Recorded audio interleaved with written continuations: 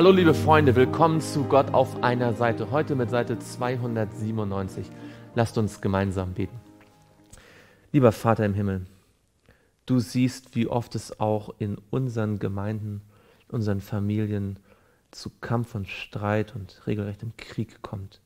Herr, du hattest damals die Israeliten berufen, das Land Kanan zu erobern. Stattdessen haben sie die Heiden an vielen Orten bleiben lassen und am Ende endet es hier in diesem Buch Richter damit, dass sie gegeneinander kämpfen.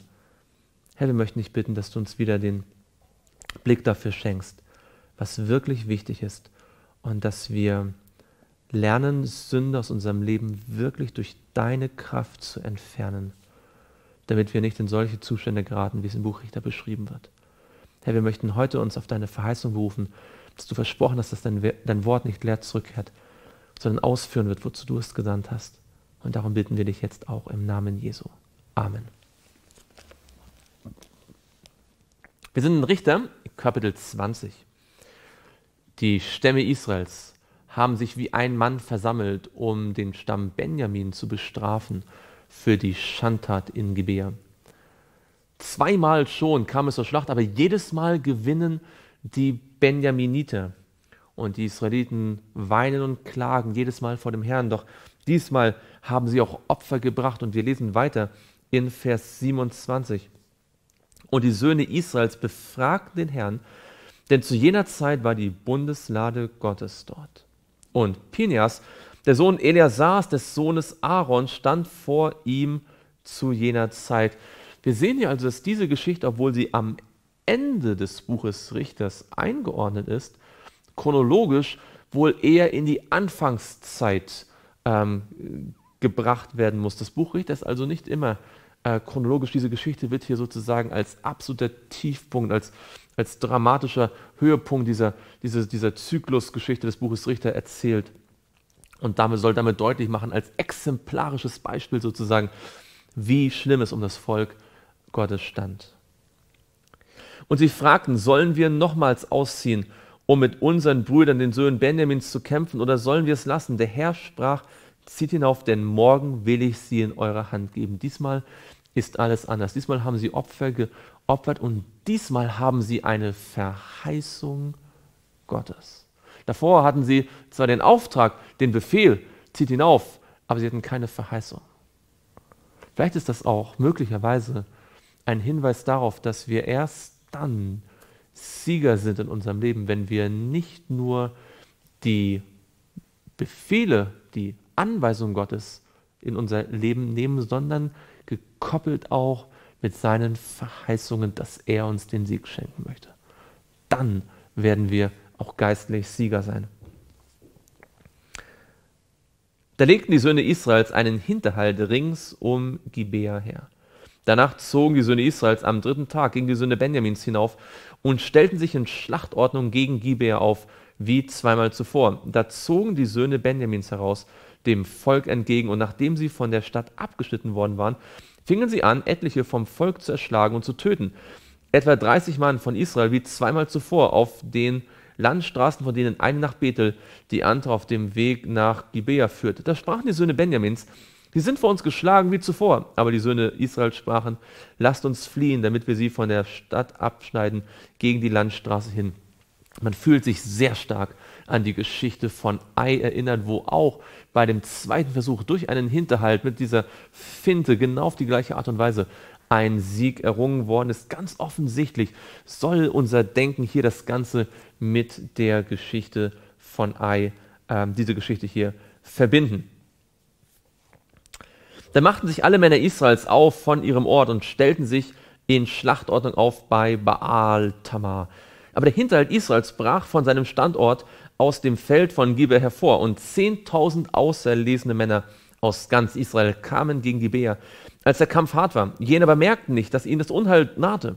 Und der Herr schlug Benjamin vor Israel, sodass die Söhne Israels an jenem Tag 25.100 Mann von Benjamin erschlugen, die das Schwert zogen. Die Benjaminiter dachten, sie könnten immer so weitermachen, in der Rebellion verharren und als die erwartbare Strafe Gottes auszubleiben scheint, das erste Mal, das zweite Mal, und äh, sich immer noch vielleicht eine Gelegenheit ergeben hätte, wenn sie dann äh, bereut hätten,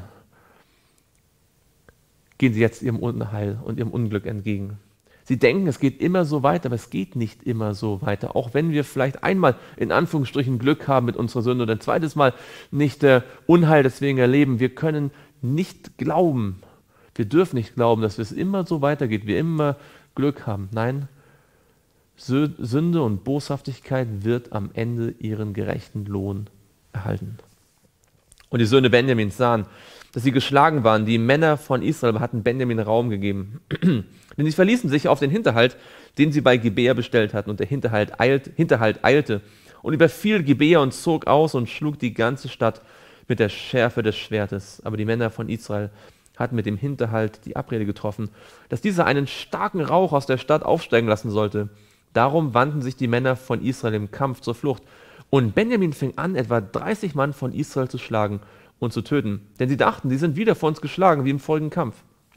Als aber von der Stadt der Rauch wie eine Säule aufzusteigen begann, sah Benjamin hinter sich und siehe, da flammte von der ganzen Stadt Feuer auf zum Himmel.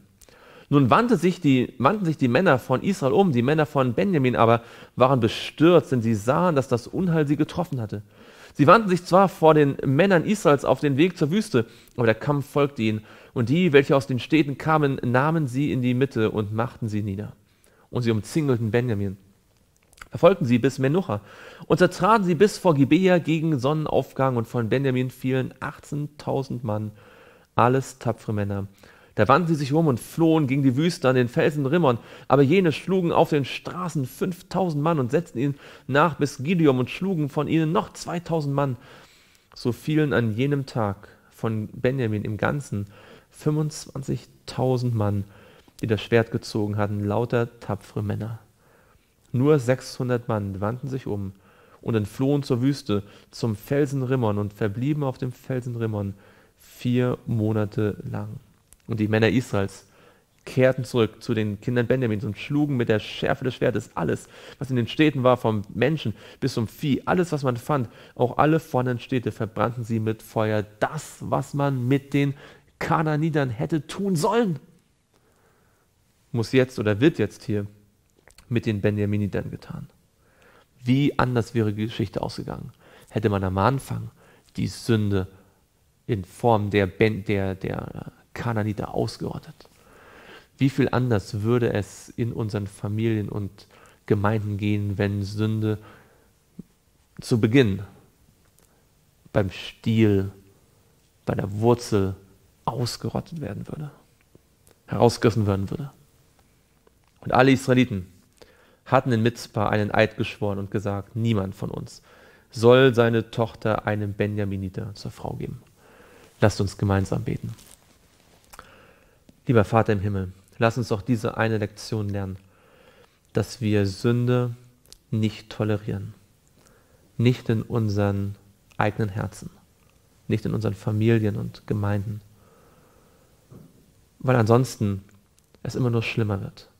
Herr, hilf uns zu lernen, dass wenn wir geistlich gesprochen die Kananiter im Land lassen, dass irgendwann es zu solchen schrecklichen Szenen kommt, wie sie hier im Buch von Richter beschrieben werden.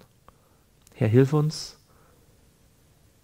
wenn wir in unserem eigenen Leben Sünde sehen, sie durch deine Kraft zu besiegen weil du am Kreuz, Herr Jesus, für uns gestorben bist.